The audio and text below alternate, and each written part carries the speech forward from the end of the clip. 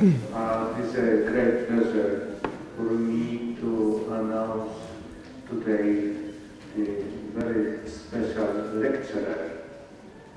Uh, as you probably noticed, last year we started the series of seminars devoted to the celebration of the 50 years of our institute. And today, Roland Wolgemut of Merck company, not Sigma Art, it was written in the announcement, came to us to tell something about the synthesis of metabolites, but using the different tools. Dr. Roland Wolgemut was graduated at University of Basel. Welcome, all of you, again. Uh, then, after graduation, he uh, got a postdoc position uh, at Berkeley, California, and worked on artificial photosynthesis, also with the Department of Energy of the United States. Then staying all time in the industry, uh, he lectured at University College London, at Technical University of Delft, at Urbino University and Siena University.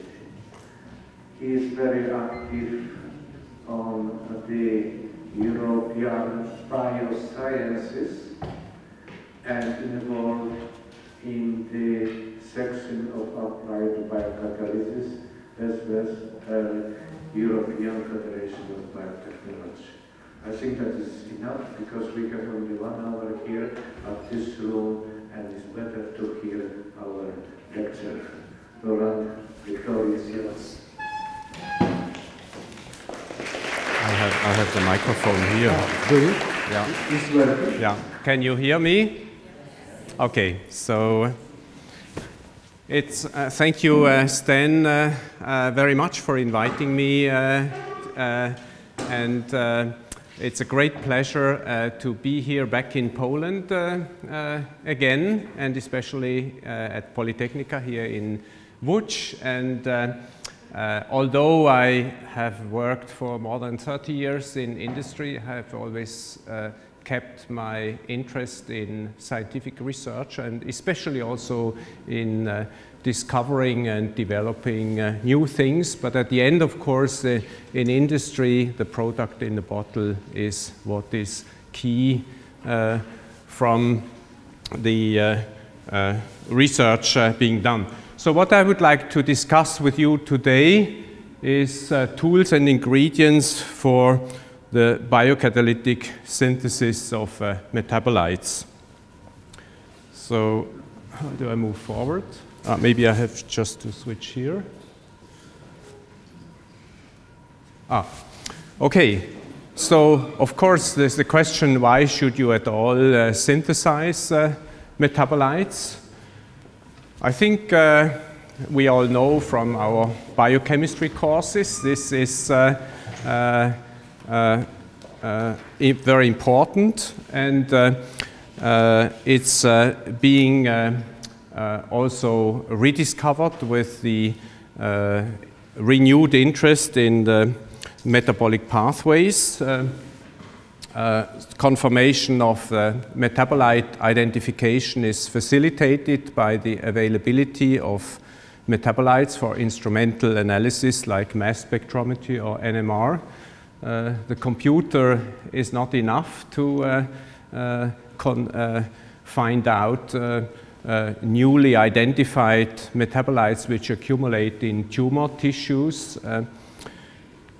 Metabolites, as we all know from our basic biochemistry courses, are required for robust functional bioassays. If you want to measure the enzyme activity, one needs to have a, a substrate as product, pure product available in order to measure uh, how many units of uh, enzyme activity are available.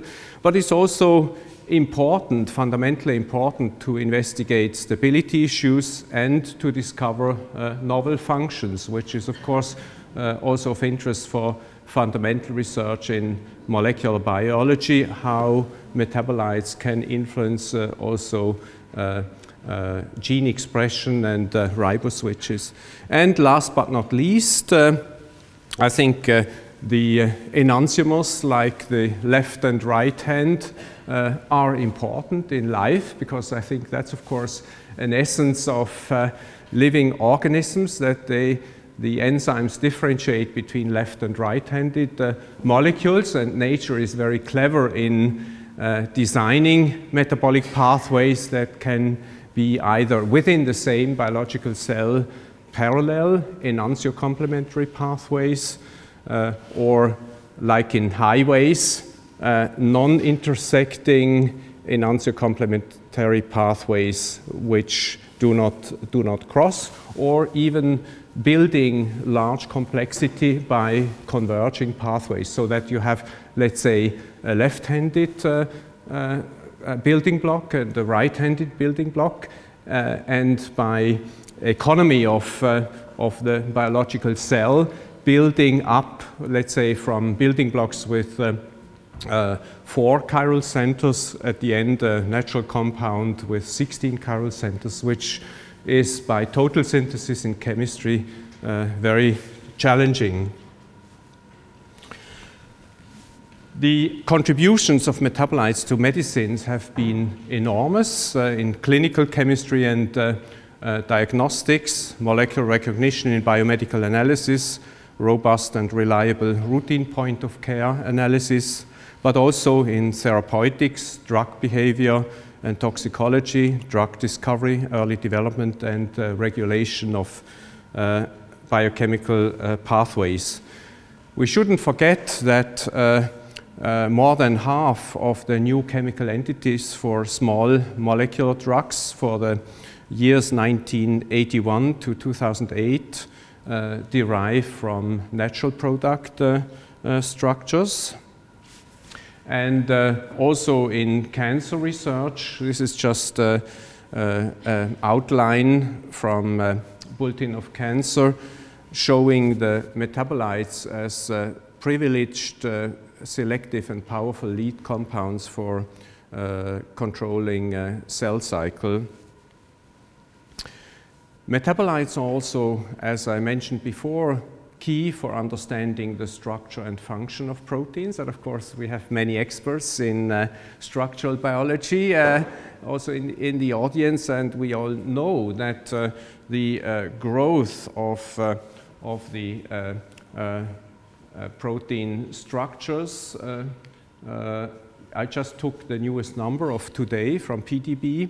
Uh, 130,102 protein structures are uh, deposited and uh, that uh, there are uh, an increasing number of uh, pure proteins which have been crystallized 3D structures determined and nobody knows the function. And the big US initiative by the NIH, the Enzyme Function Initiative, tries to develop generalized methods how to derive uh, function uh, from the structure. So I think at the end, of course, the, uh, somebody in the lab has to take the, the pure protein and demonstrate that uh, substrate is transformed in the product. And for that, I think the metabolite is key. Uh, what's also interesting on the right-hand side, the number of protein, I updated it every year, but you see that uh, the uh, number of uh, uh, unique protein folds has stayed constant at 1,393. If we look at ourselves, our body, uh, uh, the current uh, uh, database on the number of uh, human metabolites uh, done by David Wishart at the University of Alberta in Edmonton, Canada. He uh, is collecting uh, the statistics of the number of metabolites known since 2007. So it has, this has increased from 2,180 to, this is the most recent number from 2000, 2012, 40,153. So it's, we don't even know all uh, the human metabolites. That's a, a, a current uh, current ongoing research. And of course, it becomes even more challenging as we know that only uh, a minority of human cells are in us and a majority are microbial cells. So that's adding another level of complexity. And in addition, with the interest, this is uh, for the healthy uh, cells, the interest in the diseased cells or cancer cells, which uh, often have a different metabolism, increases the complexity. This shows the the, the dimension of the problem. And you also see now from uh, a person like me from the synthetic side, the challenge on the synthetic side. You see on the right-hand side the number of compounds with synthesis references has not increased. You see it here on the right-hand side, has not increased correspondingly only from 220 to 1,943. So there's a huge challenge for all of us globally to make the compounds that are needed to, to move forward. Just to give you also uh, some small hint of that, there are now more than 700 known inborn errors of metabolism with newborn babies, and no country of the world, no health system is able to test for all of these uh, because it's too costly. And, but even more complex also scientifically, there's a lack of the corresponding metabolites to do the diagnosis and differentiate these diseases. Then the next question comes, of course, uh, because of these huge dimensions, uh, one needs to focus on, on selected. And the question is which metabolites to, uh, to synthesize. And here I've just taken uh, uh, graphs from the two uh, uh, very often, which I use very often, the KEGG database from Kyoto University, which was established by Minoru Kanehisa in Kyoto, and Adam Arkin's uh, uh, metabolic pathways deriving also from metabolic reconstructions from fully sequenced uh, genomes. And there we have focused on the most important uh, central pathways as, as well as uh, uh, disease relevant metabolic pathways. Then once one has done a selection of metabolites comes the next question, what type of strategies and tactics do you need to make these products in the bottle? So this is the general problem, somebody uh, wanting to make these products phases. You have uh, uh, the available starting materials that you have available today. And this is what, what would be desired, a product that's globally non-existing or nobody uh, has made it. And then it's the question, which road, which road to take to get from starting material to product? So first of all, it's like with uh, being in a foreign city, uh, you need a map, uh, navigation. Of course, nowadays with all the Google Maps, it's becoming easier. But in synthesis, we don't have Google Maps, so we need to find which way would be uh, uh, uh, the best way of these. Then, of course, from a practical point of view, you also would like not to have 100 reaction steps to get from the starting material to the product, but ideally in one step. So the integration of different uh, reaction steps into a minimum number. And last but not least, you would also like to intensify then the finally selected uh, reaction steps so that not uh, you have your starting material in a millimolar concentration but in molar concentration so that you need uh, less space and you can convert it in a, in a shorter time uh, to uh, the product. So actually, uh, most of the things are related to uh, this slide uh, here.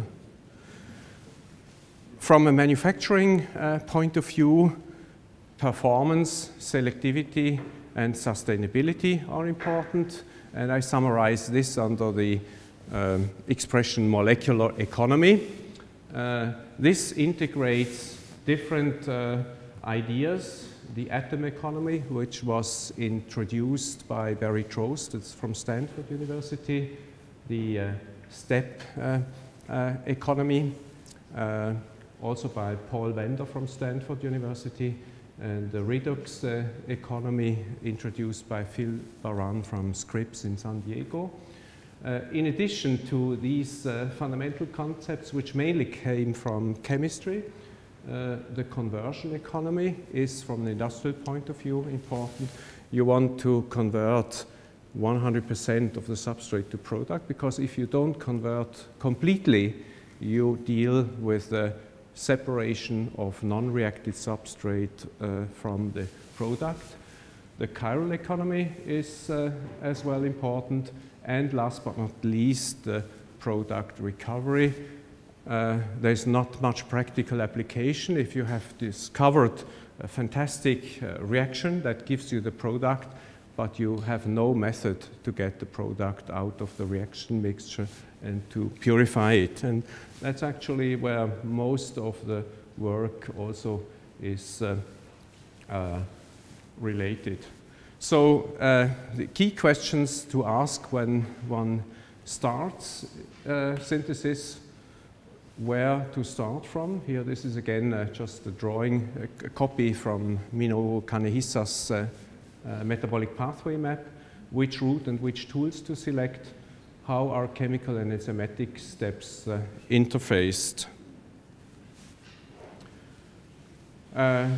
In uh, designing the routes, uh, it's uh, similar like uh, in uh, uh, macroscopic dimensions. there are old routes, like here these Roman routes in ancient Europe. This is an old Roman route in the Swiss mountains, which I walked myself. It's very pleasant. It's 2,000 years old, still working, and it's a, a very uh, slow. It's not very steep because the Roman soldiers uh, uh, had to walk from Italy through the mountains to northern Germany, so it was very nice to walk, still existing today, but slow. Then, of course, you have the uh, fast uh, routes. Uh, here, this is the world's largest tunnel through the Gotthard Tunnel, which was just opened recently, and where you can go below the mountains or over bridges.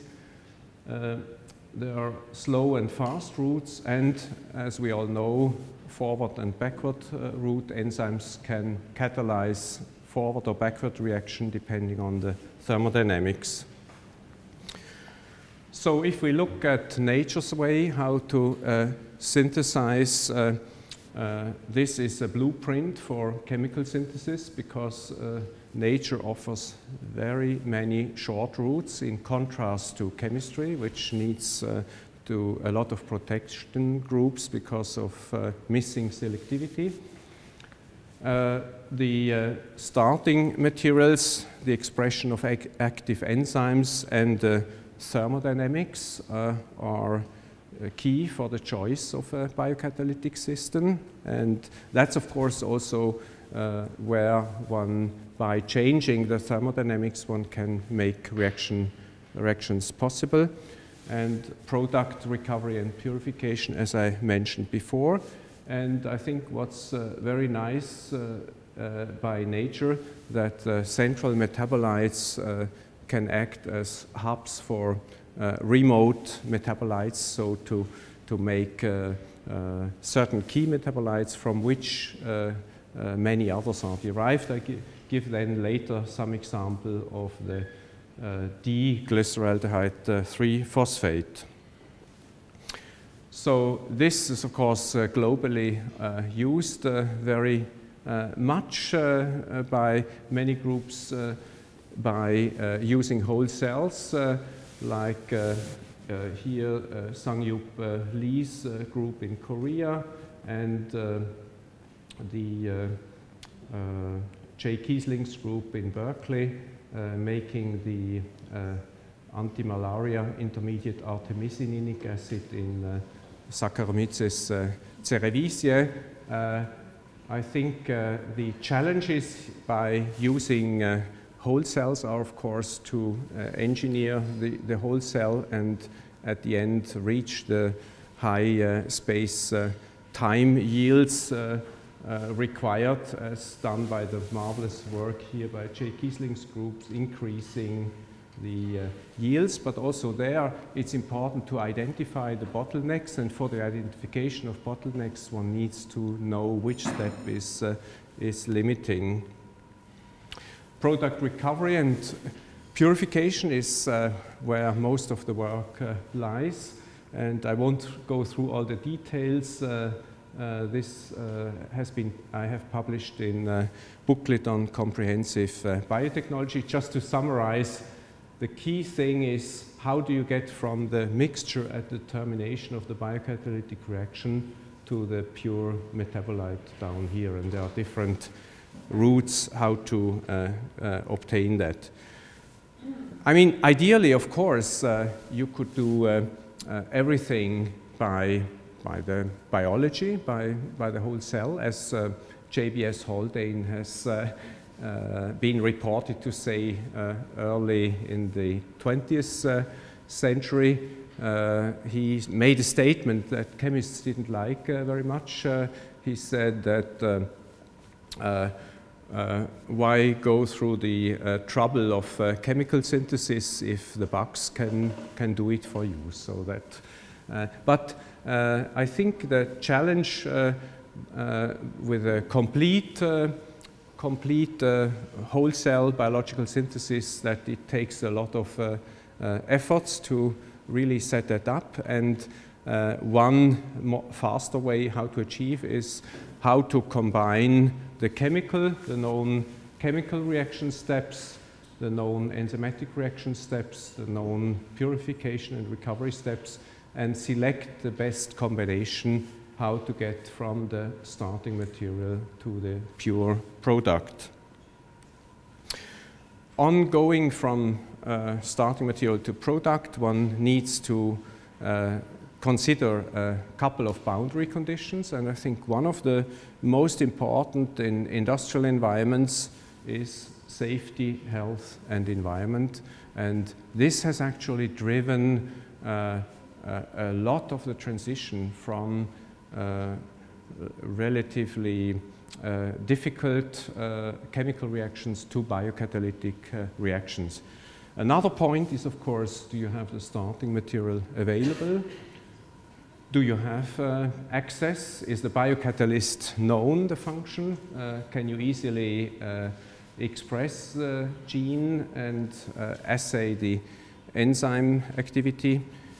stability of the enzyme, but also stability of the intermediates and products is an issue. How much time do you need to develop?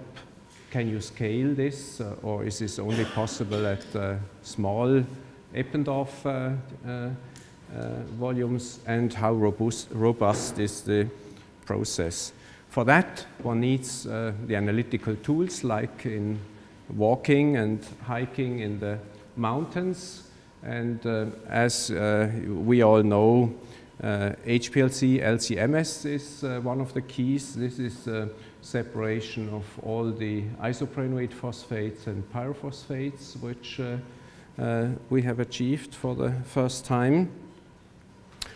Or uh, the chiral separation. Uh, this is the chiral separation of, of the key uh, metabolite in the, metaboli in the uh, metabolic pathway to steroids. That's the 2,3-oxidosqualane, and it's only the S uh, configuration that's uh, required.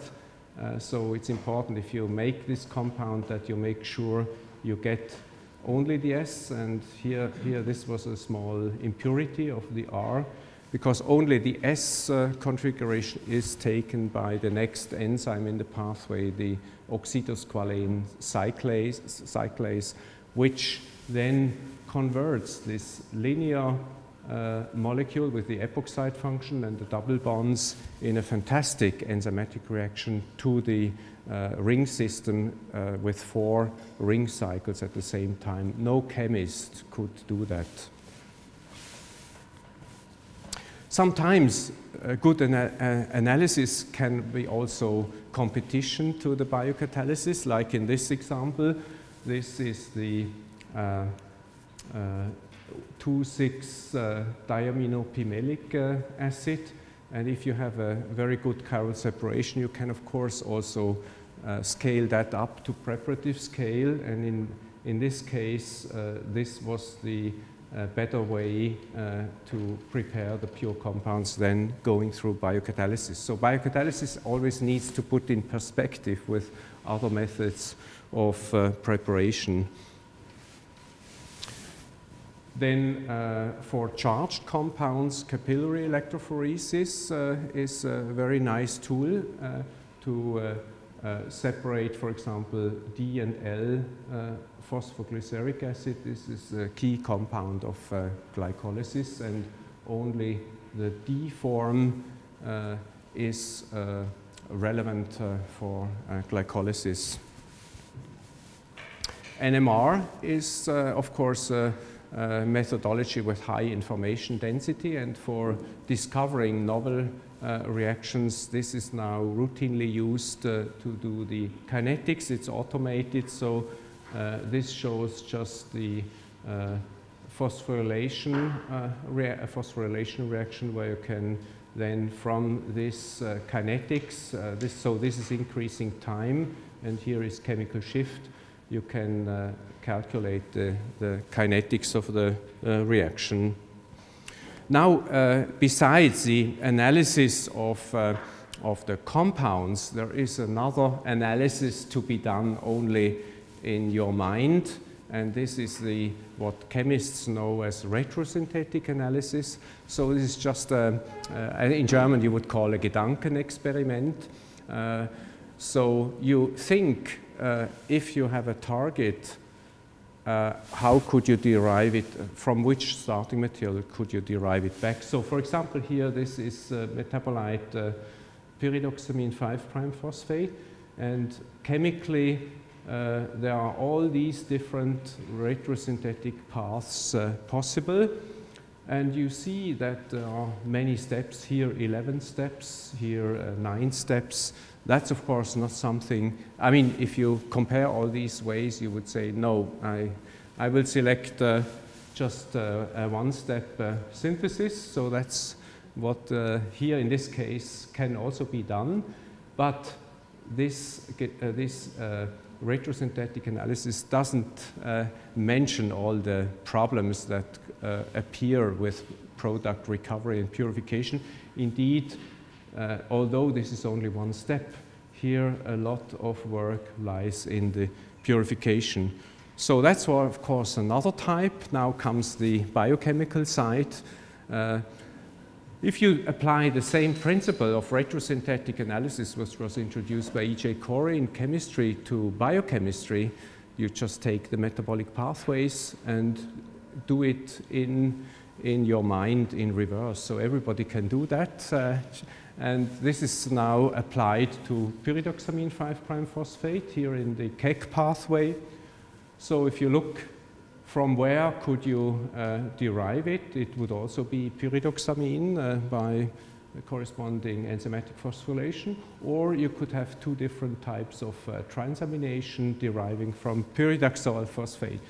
Of course, there you can then combine it also which starting material is uh, less expensive and uh, what uh, uh, makes more sense. So this is a very easy way everybody can do. The same is applied to phosphomevalonate, R5 phosphomevalonate. You could actually derive from mevalonate or from mevalonate pyrophosphate, but since uh, this is uh, uh, much uh, more difficult to access, it's obvious uh, to start from this here. And uh, the central metabolite, D-glyceraldehyde 3-phosphate, you probably can't see from the, from the back, but you can actually, uh, we have uh, worked together actually with a pioneer of visualization of metabolic pathways. This was Donald Nicholson. he already was working for us and the International Union of Biochemistry and Molecular Biology when he was over 90 years old. And uh, we made all these uh, metabolic pathways also on the website uh, uh available. So if you uh, go back from where could you make it, you see many options, but you also can figure out uh, many of them. If you start from the, down here, 1,3-bisphosphoglycerate, that's certainly not an option because nobody in the world has ever made it in pure form. If you take fructose 1,6-bisphosphate, that's of course uh, generally uh, available, but then you deal with a separation problem because you get uh, both the 3-phosphoglyceraldehyde and the dihydroxyacetone phosphate, or you could use the triose, uh, dihydroxyacetone phosphate with a triose phosphate isomerase, uh, but that's uh, an equilibrium reaction. And uh, another thing would be erythrose for phosphate, but there's another, another difficult metabolite to get in high purity. that's also an option. So the uh, most obvious choice is glyceraldehyde by, uh, and then of course you need to do a phosphorylation. And last example, uh, it also shows that let's say, th there is no, no computer program to uh, uh, do this yet, uh, but uh, it's a combination of the chemical and biochemical knowledge that you can uh, apply. So here, this is this was the challenge of making the D and L lactaldehyde first available. So there were even old papers describing this molecule doesn't exist, it's not stable. Uh, so when you make it available, that's of course then uh, a contradiction. So be careful when you publish anything uh, that something doesn't exist. It might be changed uh, by having the product. So here, having the metabolic uh, pathways uh, uh, to D or L lactaldehyde, you could actually derive it from methyl glyoxal or from the lactic acid, D or L lactic acid, which is very cheap. But the uh, problem there is that all these aldehydes, of course, have reacting groups and uh, can react with amino groups of uh, proteins. Uh, thereby uh, having uh, unwanted effects like inhibition or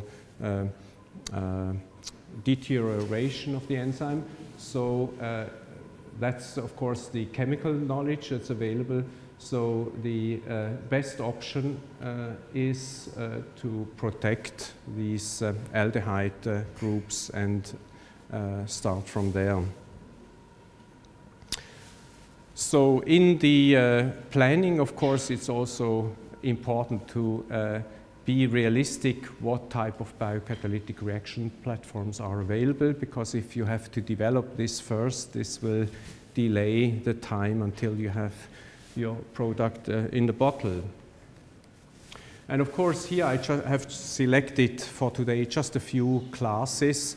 Uh, oxidations are, of course, uh, one platform where uh, biocatalytic uh, reactions are superior to uh, chemical reactions. This is known already for 100 years by this shown by these historical examples of uh, selective uh, oxidation of certain hydroxy functions.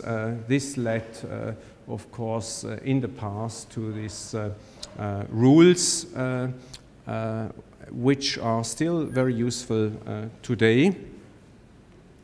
And of course, uh, the famous example also by famous Polish uh, scientist, Tadeusz uh, Reichstein, who moved to Switzerland. Uh, in fact, I met him uh, as when I was a student. I met him sometimes in the cafeteria uh, where he was still working at the University of Basel.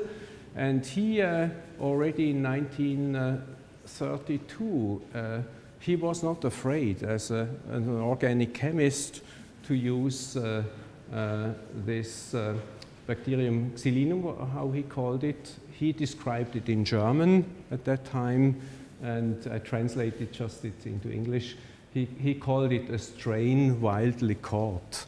And uh, this was the uh, important step in the uh, disorbitol to L-sorbose uh, selective C5 oxidation, which uh, was then later industrialized at Hoffmann La Roche in the vitamin C uh, synthesis. So it shows uh, uh, the importance of biocatalysis already many decades ago.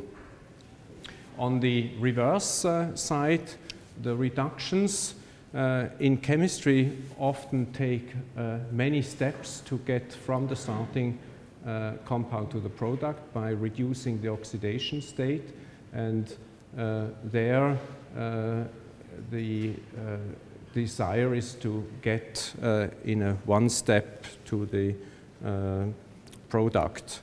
This is now just illustrated with the D and L lactaldehyde, which I showed before in the retrosynthetic analysis.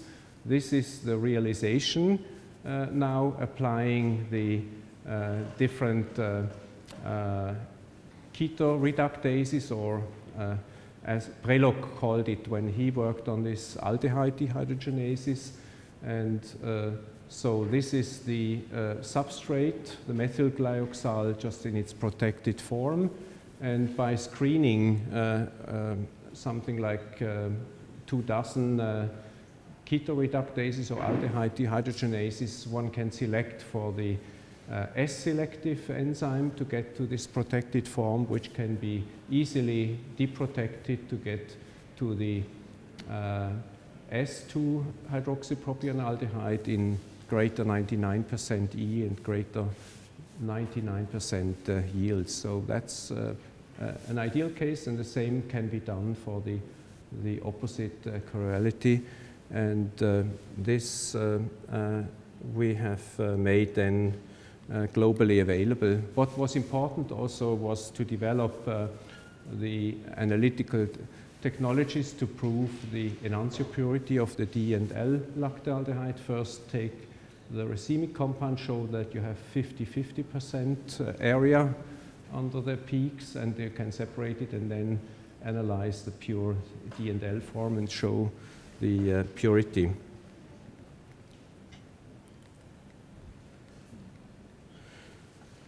So one uh, other important biocatalytic uh, a reaction platform which uh, actually uh, uh, we utilize now routinely is biocatalytic phosphorylation. So if you think how uh, phosphate groups have been introduced over the last 100 years in chemistry. There are basically two routes. One is over uh, the oxidation state 5, phosphorus 5, but what you have to do there is you have to, uh, uh, with catalytic uh, uh, phosphorylation. Of course, you can do it also non-catalytically, but if you do it non-catalytically, it means if you scale up the reaction, you accumulate on the same order of uh, magnitude waste as you make uh, product. So catalytic uh, Uh, reactions are desirable. And uh, for the catalytic uh, reactions, you need uh, also catalysts, which are uh, protected phosphorus 5 donors, but you need in addition also to protect then other uh, hydroxy groups or other reactive groups on the starting material.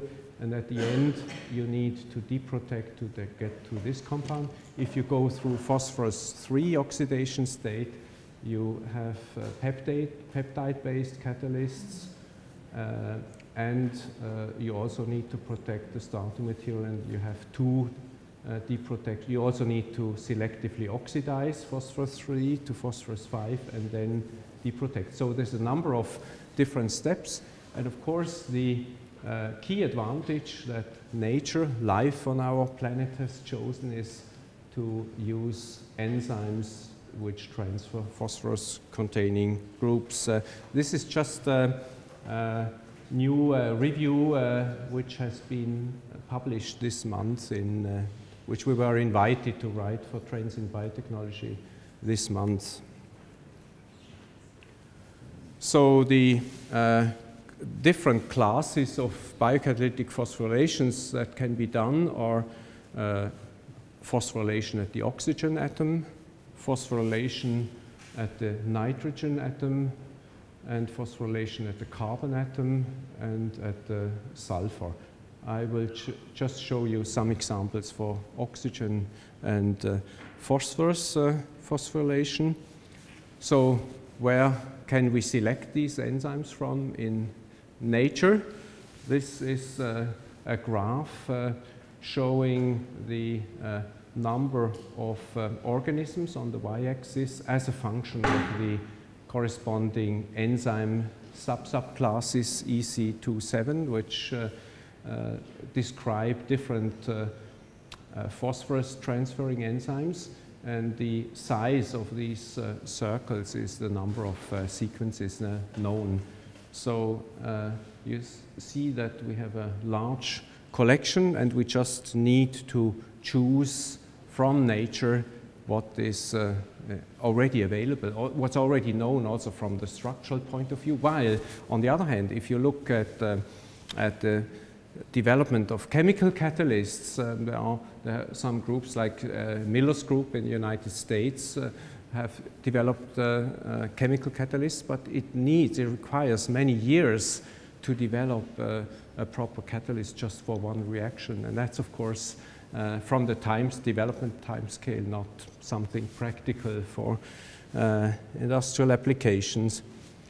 So having a a whole bunch, uh, and of course nowadays uh, uh, many of the reaction platforms are already developed, but there is an even larger range of reactions where nobody can, can do the reaction. So there's a great future for all of you to discover uh, novel reactions and, uh, and I think at the moment this is a very exciting area.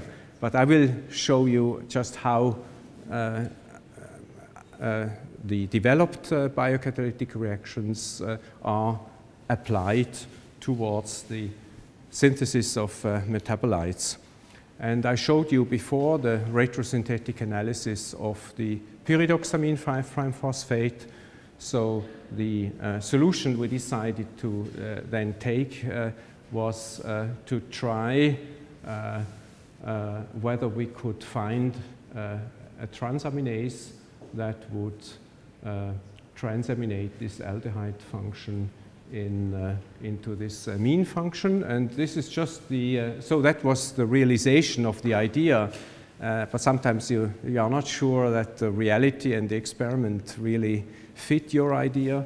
But uh, uh, when we try, when we saw this little, sorry, this, this peak, this was another peak, when we saw this little peak of the pyridoxamine 5' phosphate appearing with uh, omega transaminase uh, from uh, this microorganism, we were very excited and this actually then helped us to this was just a characterization of the pH and temperature of the enzyme. And this uh, helped us to uh, then make this compound here. You just see if you increase the, of course that's obvious, if you increase the amount of enzyme you can shorten the reaction time. And what was really interesting is that the reaction, this was the first transaminase reaction that went to completion, uh, that you can really convert it 100%. Uh, and uh, it only works with the omega transaminase if you use the alpha uh, transaminase, you have hardly uh, any uh, reaction. for uh, the synthesis of the whole range of uh, metabolites from the mevalonate and the non-mevalonate pathway. And with the mevalonate, there are also now there's a, a lot of diversification. Uh, you need both to have the phosphates and the pyrophosphates. And for that, uh, I think uh, we had to develop the quantitative phosphorus NMR uh, kinetics, this uh, works uh, very nicely. And what you do there is you calibrate with 85% phosphoric acid in D2O in a stem coaxial insert, so you can directly quantify what's occurring in your NMR vessel. Yeah, I will speed up. Uh, this is just the result of an application in the mevalonolactone uh, phosphorylation. Here you see the red curve is the phosphorylation of the R form. The blue curve shows that the S form is not phosphorylated at all, and if you take the racemic mixture, it's 50%.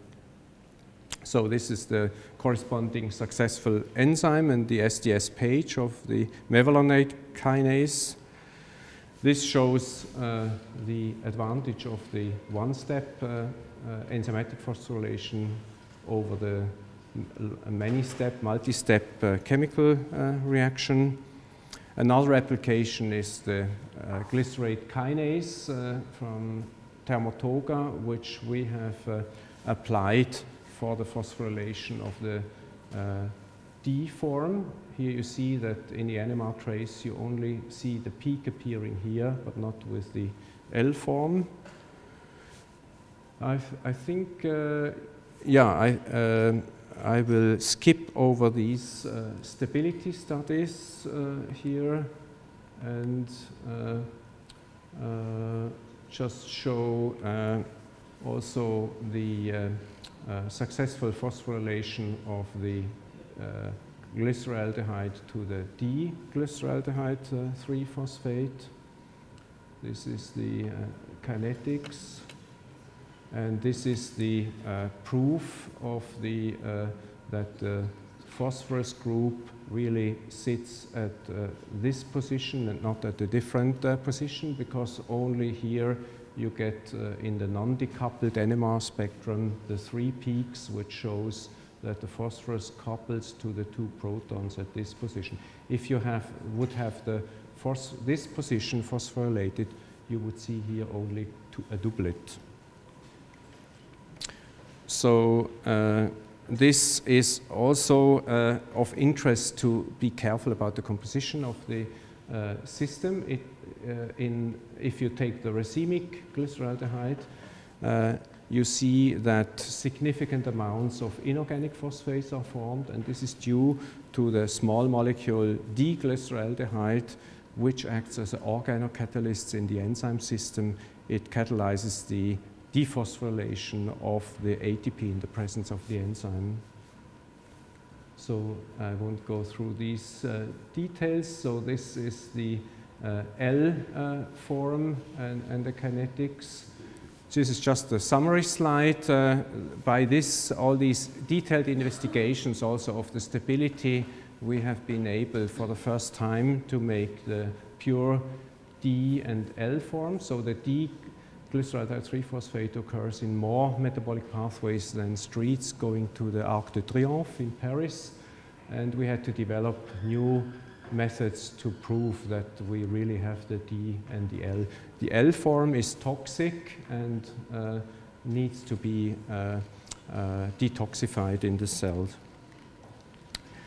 Uh, be also always careful when you develop a novel reaction to check the pH uh, stabilities. So from uh, all these pH stability studies, our uh, finding was that the glyceraldehyde 3-phosphate is not stable at pH 7, which you would normally think of from standard biochemistry textbook knowledge, but it's uh, stable at pH 4 and below.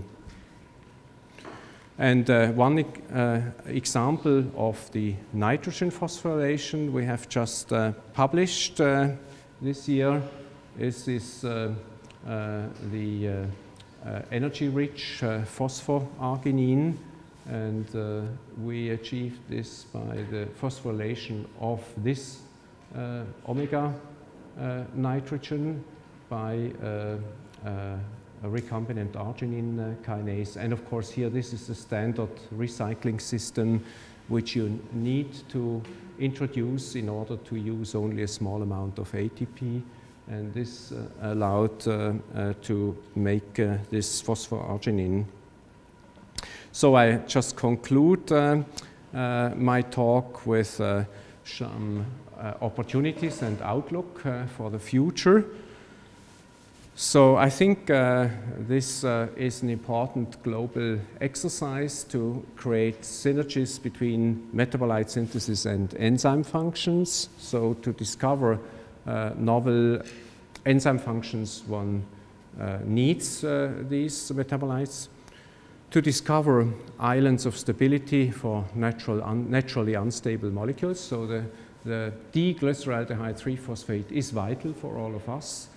But uh, as we know since the 1930s uh, from Otto Warburg's famous experiment with cancer cells, one of the uh, uh, key features also between healthy and cancer cells is the change in glycolysis. And if we want to dissect that for each type of cancer, one needs to find out what's occurring on the, on the molecular level. That this will be very exciting area for future also of cancer cell uh, metabolism.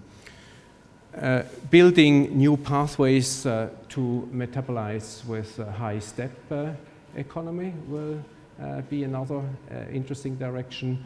Uh, debottlenecking hurdles to complete uh, conversions uh, because of course naturally in biochemistry we have high regulation and of course in let's say from an industrial point of view want to remove that re regulation because you want don't want to have a mixture, but to convert it uh, uh, fully to the mixture. And there are now very exciting new concepts uh, Uh, how to uh, achieve that. And last but not least, uh, in order to, of, of course, improve, let's say, healthcare and diagnosis, we would not want, let's say, to undergo surgery to do a diagnosis, but rather to have non-invasive uh, uh, diagnosis and uh, uh, stable isotopes are, of course, now very much of interest in magnetic resonance in imaging of whole human bodies. And you can transfer, there it's even more important to convert all of the stable isotope labeled starting material completely into the product and one can trans uh, transfer directly the developed biocatalytic methods to, to these uh, stable isotope labeled methods. And with this, I would like to end uh, my presentation. I would like to thank you very much for your attention. I'm happy to answer any questions. Thank you very much.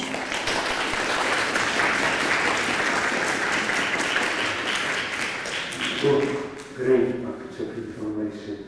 Thank you, Roland, for this, uh, I would like to say, the inspiring uh, lecture giving us a lot of uh, information, new ways, and how to use, for what to use uh, the, the biocatalyst. Uh, so do you have any question to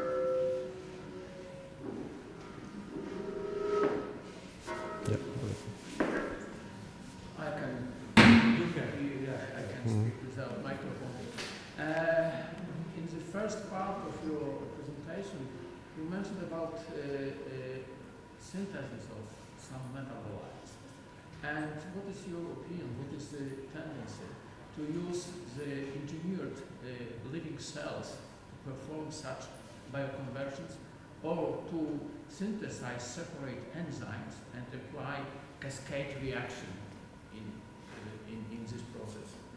Well, I think that's a very good question, and I think uh, uh, I can't give, I, I, would not dare to give you a general answer to that, uh, but I would say uh, that uh, one needs to uh, uh put the different options uh, for each uh, particular sequence side by side and compare the advantages and disadvantages. Just to give you an example, in a specific case of the phosphorylated glycerols and uh, these compounds from uh, glycolysis. I think there has been very interesting uh, work by several groups to uh, do it in, in whole cells and fantastic publications uh, uh, on that. But it's, it, it's coming there to the point which I mentioned before.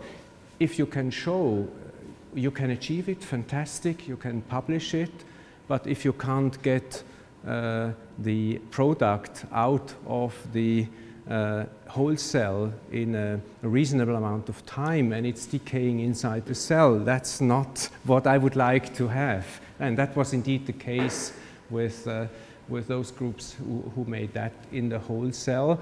So that's why uh, I decided for these cases to go to the isolated system. But we have other cases where we went the opposite way because uh, the uh, uh, the uh, whole the whole cell offered the opportunity to have the uh, the enzyme complex available, which was not yet available in a, in a pure form. So I think we have we have both sides, and but I think I think one needs to really deal with this question in, in the very different uh, routes. If you have uh, biocatalytic reaction a whole series modules of biocatalytic reaction platforms available in a, like a Lego fashion, you have uh, all this way, then of course it will be much simpler to study the effects, how to combine all these steps in a cell-free system, because then you don't have to deal with uh, questions of the, of the transporters over the, over the cell membrane, whether, whether the compound is similar to some of the natural metabolites which get transported into the cell and, and also the product out of the cell. And there's indeed uh, uh, European, uh, 25 countries are uh, working together in a cost action called systems biocatalysis, and that's the aim of there are 300 scientists uh, working on in that uh, area uh, uh to uh, look for um, ways in cell-free systems combining different steps. But, but it's of course a huge task, and I think there is no final answer to your question. I think this will go on for years, and one has to study it case by case to answer your question.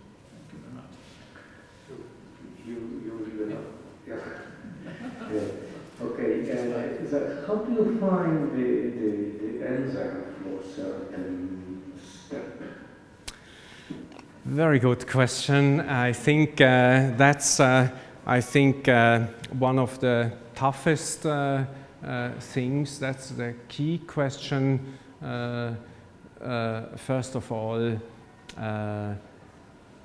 whether there is a likely, whether the function is already known in nature or not at all uh, known in nature.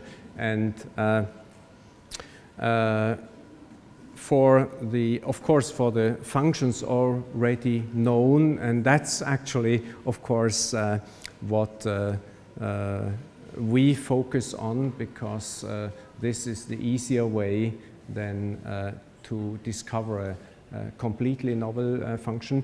Uh, for those, uh, I think it's mainly screening, screening a series of organisms and uh, then select that. Or if we have uh, now with an uh, increasing number of sequences, we uh, have uh, also uh, gone into then expressing a lot of sequences and testing which, uh, which ones are uh, successful.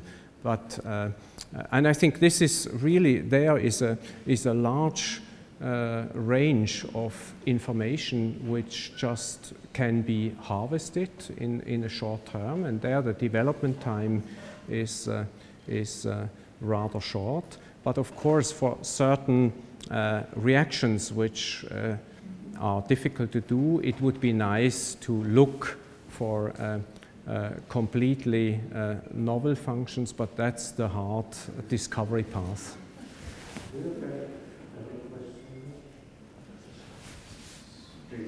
Okay, uh, you showed the example when you use the P31 uh, NMR to uh, show the interaction and the amount of metabolite. Do you use also the technique which, I don't remember the abbreviation, but you uh, introduce the initial signal on the protein sequence, uh, uh, frequency, and then the signal is transformed to the uh, metabolite, and then you collect the metabolite spectra, and then you know which groups interacting with, with the protein.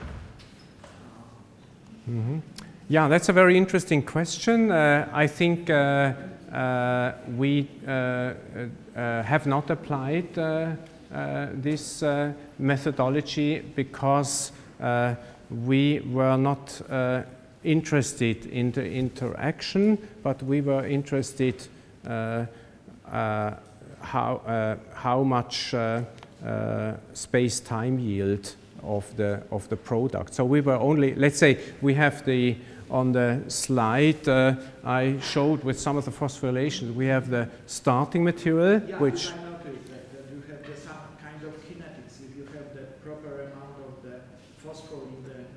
Exactly, yeah.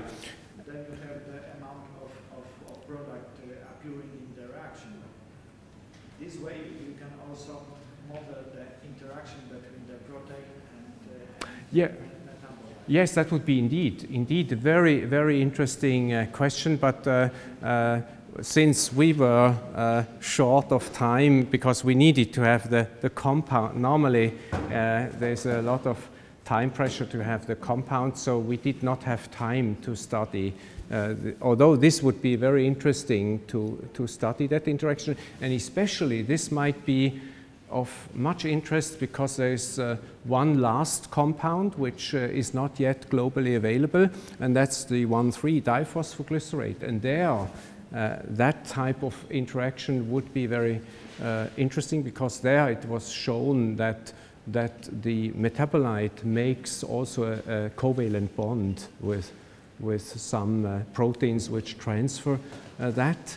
Uh, and, uh, but this is a very, nobody has up to now been able, there was a, a group, the group uh, from uh, Natalia Nagradova and Vladimir Muronets at Lomonosov State University in Moscow who have worked for years on that, but also uh, they have not never isolated uh, that uh, compound. It would be very interesting globally to have for the first time that high energy intermediate. Um, so we are working on that. Uh, stay tuned uh, in the future. We will certainly get it. Okay.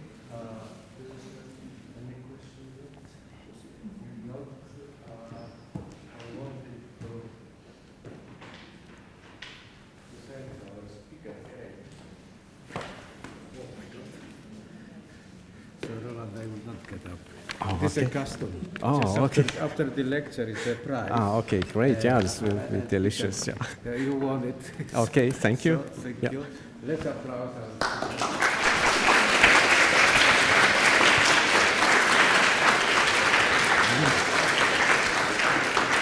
Tomorrow is the lecture also, if you are interested. Uh, this on the lecture, and also on Friday we'll have another one, but in another place. Thank you again. Mm -hmm.